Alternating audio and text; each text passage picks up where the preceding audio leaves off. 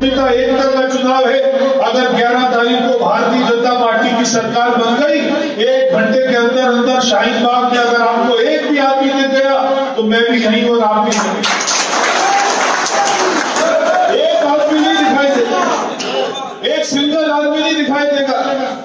और मैं आपको वायदा करके जा रहा हूँ, अगर दिल्ली में मेरी सरकार बन गई तो 11 तारीख के बाद केवल एक महीने मेरी लोकसभा में जितनी मस्जिद सरकारी ज़मीन पर बनी है, एक महीने के अंदर अंदर एक मस्जिद आपको नहीं छोड़ूँगा।